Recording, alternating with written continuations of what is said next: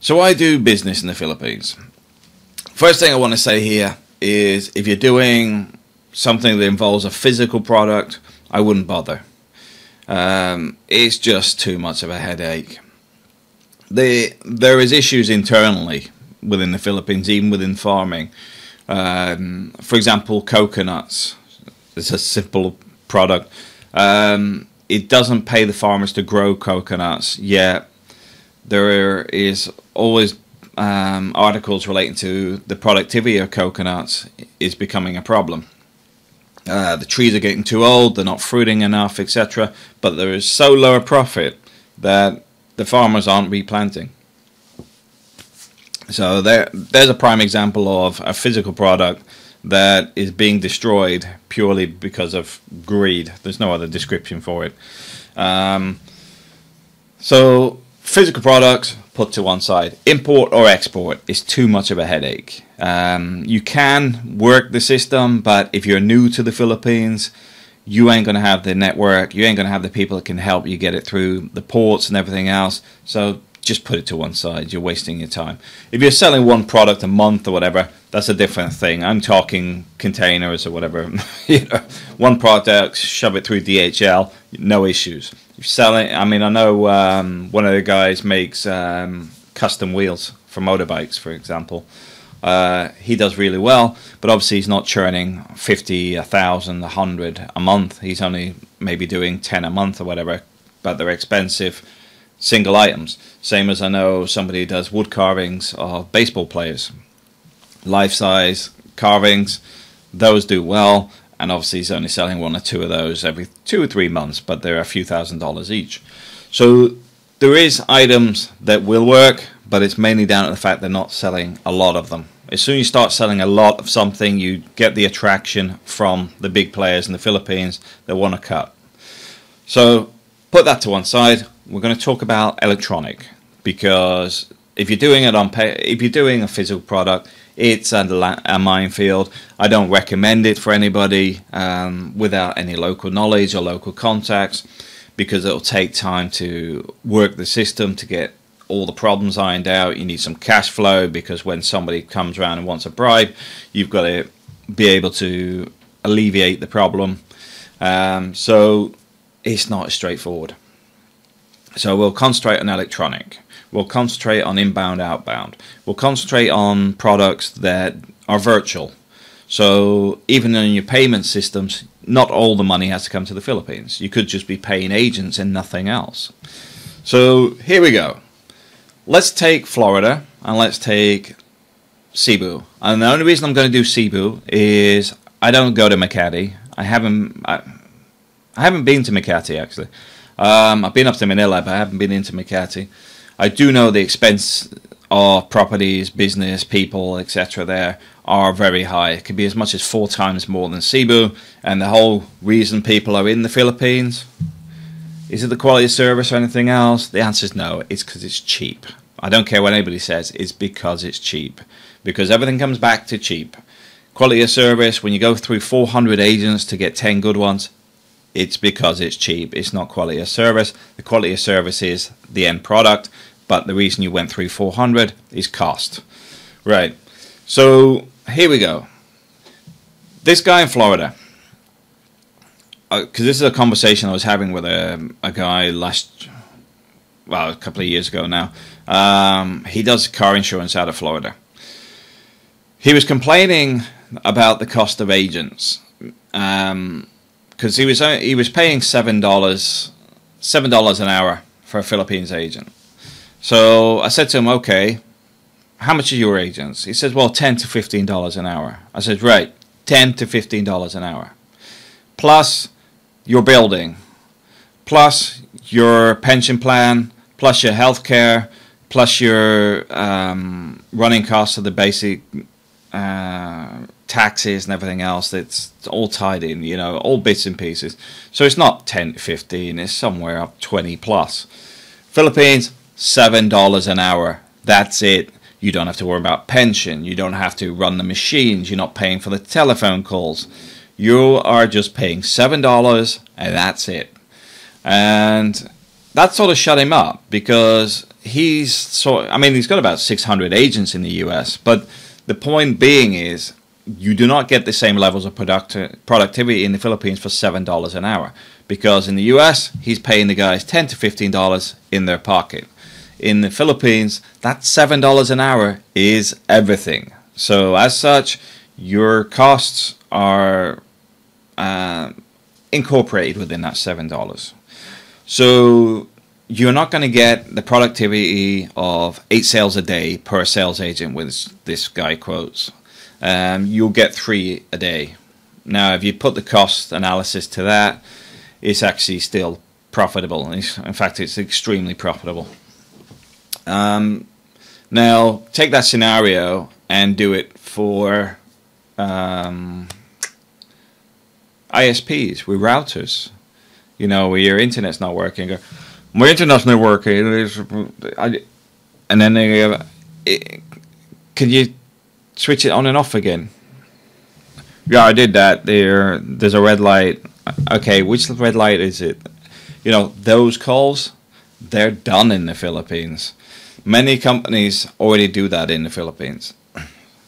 Fifteen dollars an hour or seven is still the same rate. It's still costing seven but what's the difference? This guy would cost exactly the same. You know, productivity levels are the same because they're still answering the same calls, they're still dealing with it in the same manner, they're still dealing with the same volume. That's why this works. Now, that's the business model I'm working with. Um, I'm moving away from telemarketing, telesales. But if you do want telemarketing or telesales done, get in touch because I do have access to the call centers that can do this. And on top of that, you will not get ripped off because these guys I've worked with for the last three, four years. Um, so let's do Cebu IT Park. Cebu IT Park is built for communications. Chase Bank is there.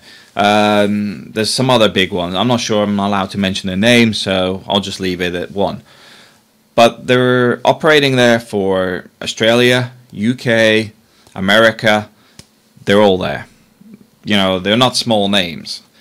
There's infrastructure there. It's been designed for the whole telemarketing, IT crowd, blah, blah, blah. It's all in there. So you have an infrastructure designed for it. Do they get internet problems from time to time? Yes, they do. It's normally related to typhoons, but you budget it within your business. And the reason you budget it in is because we got this price difference anyway. So if I lose three days, I budget it. You know, it's going to be within that cost. And you could, I mean, I'll give you an example. I was doing uh, RBS Bank a couple of years back, and we looked at the there were there was a mortgage center where we're having some major works done. So because the mortgages are extremely important to a bank financially, we actually put another building ready with a generator with a secondary generator for that. That's that's how important this was. This is for the whole bank. Um, that is not the Philippines, by the way. That was for RBS directly. I was actually working for another company, and we did that setup specifically for that. Not that they expected the the mortgage center call center to go down. It was just the case of there's some works going on on the high voltage equipment. We'll set up another building with all this equipment, all the generator backups, everything else, just in case. That's what you could do. You can have a secondary setup. You can have a preparation plan, and you should have. Um, so it's all possible. You can get your own generators. You can have a secondary call center, depending how big your business is. You may have all your calls and just reroute them to the US if there is a power cut. Because at the end of the day, the cost is here. That's why you're there. It's nothing else. And that's what I say. It doesn't matter what people, all the English accents and all this is cost. Because India and Pakistan, their costs are climbing up. A lot of people are not going into the call center industry anymore um, because there's other the the economy is actually spurred on in India at the moment. So the fact is, there's a lot of graduates and whatever not going into the industry. So the Philippines is cheaper and will remain cheaper. Um, Makati is becoming expensive in comparison to what it was. It's still cheap. Um, Cebu is much cheaper there, which is why I recommend using Cebu call centers. But there is also this this whole point of you can employ a lot of people without any of the hassles. You can actually get the call center to do whatever you want. If you turn around and says, "Right, I want a call center. I want a hundred agents. I want this. Blah blah blah." As long as you're funding it, the call center will adjust to it. And if you want a call center in the Philippines, I'll help you build it. You know, if you want your own, I'll help you build it. If you want a call center um, cluster of like several agents so that you can have your own virtual assistants, I can do it. You know, whatever you need, I can do it. Now we'll move on to the cost elements and the risks.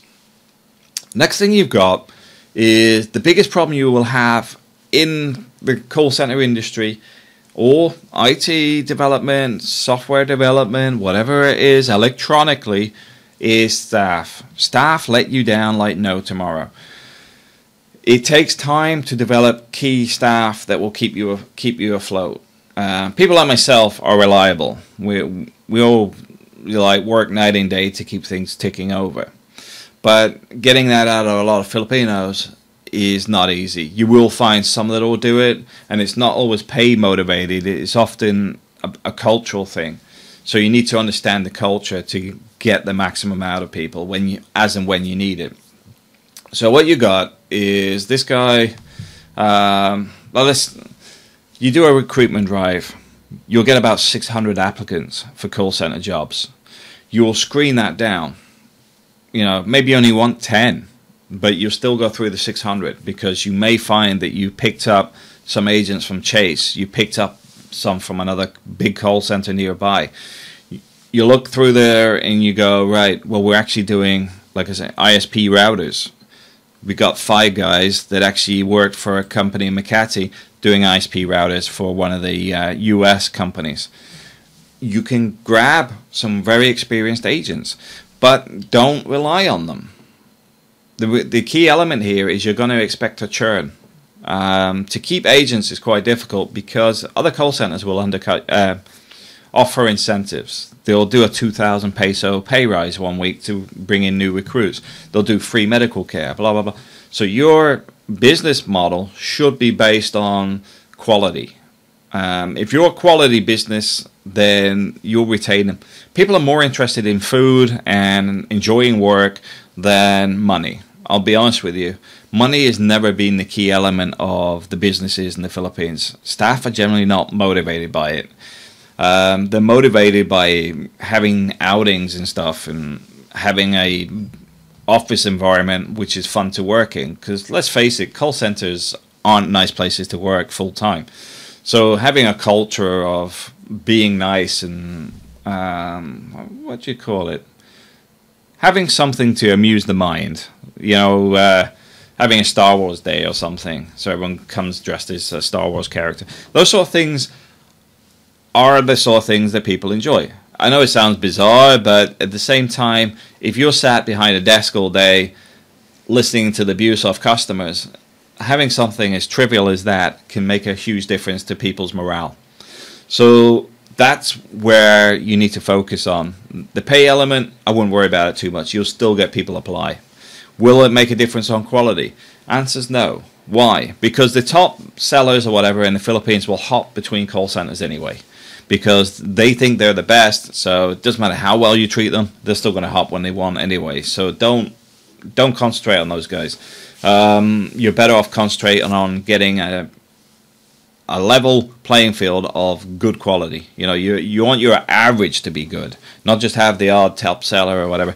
You want to bring the average up, and then once once you got it at a certain level, people want to work for you, and you just retain it there because then you're getting applicants even when you're not advertising. Now, when you do training, you will expect the first month to be a training month, and in that you don't have to pay them top dollar because they haven't earned it yet. They haven't learned how to operate in the call center because it's your business. You run it as you want. You know, they may have worked at other call centers. They do it this way, do it that way. Doesn't matter. You have a certain system yourself. Everything, even from a thumbprint of scanning into the building as a clock in. Things like that, you have it, do it methodically until they understand how your business operates. So you'll pay them a small salary for that. But bearing in mind, screen the guys out early because you'll get guys that will just turn up for that because they know they're not very good at call centers or whatever. As such, they'll just take a low pay until you boot them out. So you have to be quite um, aggressive on the recruitment. Uh, but you will find, like I'll say, 400 applicants. You could end up with 50, 60 good applicants that will stay with you. Uh, but expect a two-year churn, maybe even one year, unless you actually make it so there's incentives to stay. Um, but the whole point here is Filipinos speak English. Not perfect, but you can correct it as you go. You know, you can actually have classes where you develop the English language. Because, for example, he and she is often mixed up in um, Filipino because of whatever reason, culturally. Uh, so they, they'll often say she when they mean he. So things like that, you can like pick up the key elements and work with it to develop it into um, a much better vocabulary for working. But on top of that, a lot of it's scripted anyway. You just practice with them, improve them, and the whole point here is a it's a continual progressive um, training. It, it's not something train the guys for one month and forget about them. So you've got your training side. You will get good Filipinos. You'll get a positive vibe because most Filipinos are quite upbeat. Um, you will get people that will like to mess around in the office. You have to pick out your supervisors quite early on and make sure they're pretty brutal, um, just to keep everything, keep a cap on everything. Um, because people will mess around if they can get away with it. They will also get lazy if they're allowed to. And I'm giving you some insights here from somebody that's actually had 45 people working for me at one time. Um, you need to control everybody, and it, I mean it's it's a lot harder than it is in the West because the culture is different. The average age in the Philippines is a lot lower than it is in the UK or US. As such, you've got that mischievous, uh, childlike mannerism sometimes that pollute the workplace. Although it's happy, like I said, Star Wars Day is great, but when somebody's sitting there shouting and joking around when everyone's trying to work, um, that's a big no-no because it gets heard in other calls and stuff like that. So you need to clamp down on it as quick as possible. So there's a lot of stuff you can do to actually minimize that, and it takes time. It gets good supervisors once they actually understand how you're working. You'll it's hard to explain unless you actually do it. You know, I mean, it's like any business model. I pick out the right people um, for supervisors, managers, etc. When I'm doing other stuff as well, not just call centers. When I'm doing facilities management, when I'm doing uh, stuff related to surveying, for example, it's relationships. So, from that point of view, you can get the right staff. Do they have the skills? Yes, they do. You can get software programmers. You can get some fantastic graphics guys. I mean, one of April's classmates did uh, the CGI for 300, for example. Um, he, he won a major contest for uh, Toyota and is now in the US somewhere doing graphics work. Um, you've got uh, programmers. You've got your uh, you got your languages there because you've got to remember it's not just thinking English. You've got people coming from the Middle East that speak Arabic. You've got people from Europe that speak other languages, Dutch, French, Spanish, whatever. There is a whole ream of opportunities there from people that want to go back to the Philippines. If I wasn't in Europe with the kids, um, we may still be in the Philippines now. Um, I say may because I want April to experience Europe. So the fact is we're still traveling. But from a point of view of business, um, I am still in the Philippines because there is a lot of opportunity there. There's a lot of people that will take lower salaries because they just want to be at home. They want to be in the Philippines. So you've got a lot of skills there that you can actually get. Look at the expat community, for example. How many expats actually want to work in the Philippines? A lot. And I mean, um, Chris, Chris speaks, um, I think, six languages. A friend of mine, Chris, um, he works at a call center, and he works with another five or six people that are Dutch, I think, because they're actually working with a Dutch company, you know, marketing or whatever they're doing. But it's because they all speak the language. There is a lot of opportunity there. So don't just assume it's stuck with just Filipinos and locals, whatever. There's a lot of expats. There's a lot of people you can recruit to go to the Philippines and work for you that come from all over the globe because a lot of people want to travel. So bear that in mind. Tie them into a one year contract or whatever based on one month trial period. If you're happy, it's going to be one year. Whatever you know, whatever you want to work it, it's possible. Um, I already have several expats in the Philippines that do work for me, but also they're looking for work because although they do stuff for me, I generally like to employ people on a freelance basis um, because myself, I hate being employed. Um, I like to be self-employed. So as such, I like to keep everybody else self-employed because it keeps everybody motivated. Because if you get a paycheck every week, it becomes boring and mundane. But if you're actually motivated to do a certain task in your time, then it's fine. You know, like Philip Patrick, for example, um, is running call center projects at the moment. Um, Carlos, Carlos, uh, somebody I worked with for the last few years. Carlos is um, Filipino. He runs some stuff for an Australian call center at the moment. So bear in mind, there is a lot of opportunity there, and this is why the Philippines is becoming quite a big hub because there is a lot of people that are coming from other countries that have the language, the local knowledge, everything else, but want to be in the Philippines. They have the infrastructure for a call center industry. They have a call center mentality because it's sold as a big thing. You know, in the UK, working in the call center is like one of the worst jobs. You know, because it's tedious. People shout at you all day, etc. People hate working there. In the Philippines, it's often seen as being a career move. So there's a lot of positive stuff, although you still get shouted at, for the call center industry. That's why the Philippines is doing really well on it and it's going to continue to expand because although they're taking work, and I know uh, from an ideal point of view, we don't like seeing work going overseas. But from a realistic view here, if you're wanting to survive in business, it's the trend that everybody's doing and the longer you delay your own business doing it, the more likely you're going to be going under when your competitors basically do everything a lot cheaper because their running costs are a lot cheaper. There's no way of beating that. Um, am I expecting some of the stuff to come back into Europe, etc.? Um, I would say for certain elements, not all of it. And I know the banking is sort of mood, but you've got to remember banking is managing people's money. And you'll find if you're like a premier account holder at HSBC, you're treated very differently from a normal customer.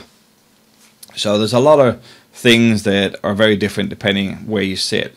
ISPs, for example, once you sign up on that contract, you're stuck with them for 12 months, 18 months, whatever. Anyway, so they've got you. It's a different thing. Banks, you can go in, cancel your account, and move it.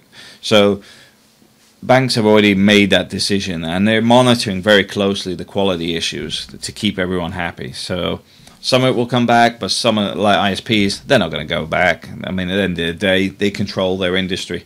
Uh, it's a bit of a monopoly.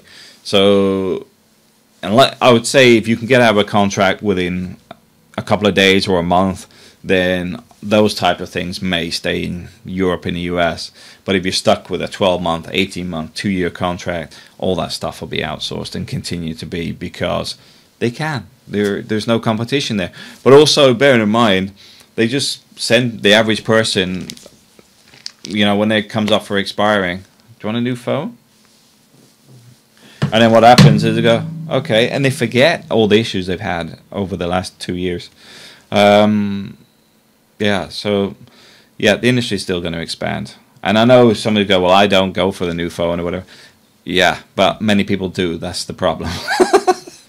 but then again, it's not always the quality of the problem. It's normally the problems more likely that, like here in Spain, the router I've got is actually rubbish that the ISP provided.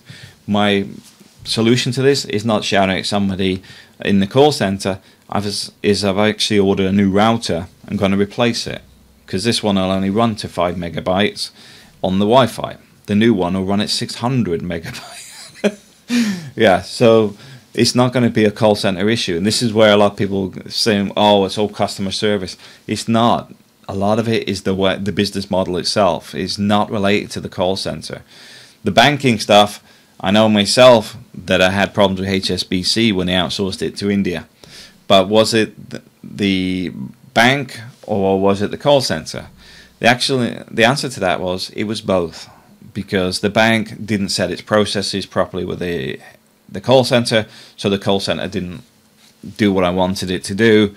Um, but was I really bothered about talking to somebody on the phone from India?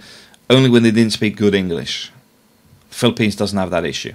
They already do speak English, and although it may be slightly broken to um, English English, it's not dot, dot, dot, dot, you know like with an India Indian accent because there's two every word is broken down which makes a funny sound. You, you you know what i'm talking about.